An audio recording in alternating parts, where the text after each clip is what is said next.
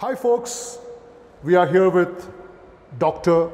N.S. Murthy, Chairperson, Department of Electronics Communication Engineering, Amrita School of Engineering, Amrita Vishwavidyapeetham, Bangalore. Sir, what do you suggest a student must go in for placement after the after he or she completes the fourth year, or should he go for business, start a new business, and call himself as an entrepreneur, or should he go in for higher studies? What is your recommendation, and what is really happening?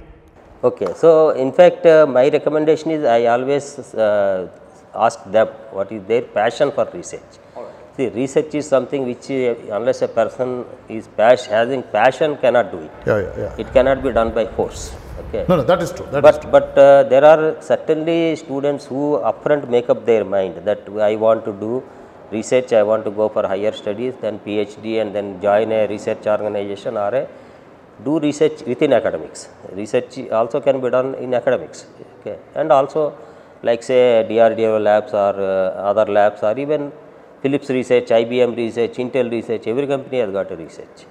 So they upfront make up their mind, and those people who are really interested in research don't even go for internships okay. because if they go for internship, they have to do what the company says. They cannot do what they want. Okay. So now they have a freedom if they don't Freedom. go for internship. They can choose for internship, or they can say that I will do a very good research project in the Amrita and take up my career further.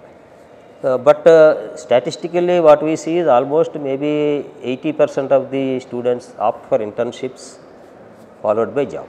Oh, so 80% would go for placement Placement or to get an experience in the industry, and then take on for higher studies. go for even entrepreneurship. All right. So what's what support do you give? Because going abroad or study within India, in the Indian universities, central or the you know state universities, you need to write an examination which is called GATE, Graduate uh, Aptitude Test for Engineers, and it's not an easy one. I mean, it's quite a uh, tough examination. And if you want to go abroad, you need to write an examination called GRE. Uh, for clearing and qualifying in these examinations, what support as a departmental head do you give to your students, sir? Many GATE coaching centers uh, which are uh, within Bangalore, they come here, they ask us to provide an opportunity to talk to our students and encourage them, which we facilitate. And also there are some GATE centers which will uh, give the free GATE coaching to the top rankers. That also we facilitate. And uh, they, they are free to do it and we also provide all the opportunities for them to crack the GATE exam uh, as well as even the GRE and TOEFL.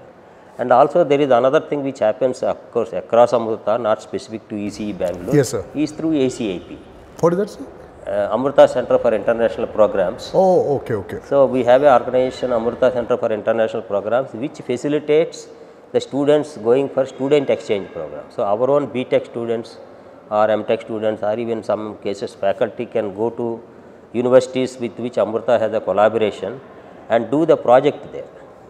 So at least around uh, 10 students every year go for Amrita that internship to be done outside India in Europe and US.